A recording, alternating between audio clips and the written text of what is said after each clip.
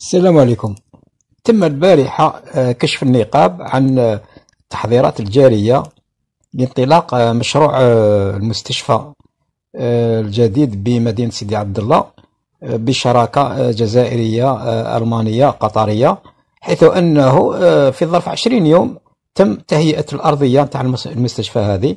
ونشاهد الصور هنا حيث أنه تم تحويل بعض القنوات نتاع صرف المياه وقنوات تاع المياه تاع لايف بي وكذلك يعني تهيئة المداخل والمخارج نتاع الورشة اللي سوف تستوعب هذا المشروع الهام تتسع لمساحة نتاع يعني الوعاء العقاري اللي سوف يستقبل المستشفى هذا يعني يتربع على حوالي 12 هكتار. آه، بالقرب من مدينة سيدي عبد الله.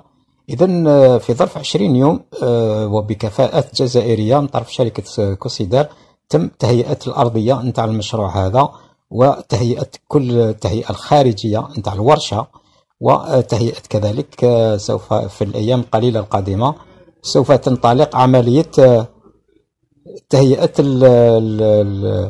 المنطقة اللي سوف لا باز في يعني المنطقة اللي سوف تستقبل العمال تاع الشركات الألمانية اللي سوف تأتي لبناء هذا المشروع.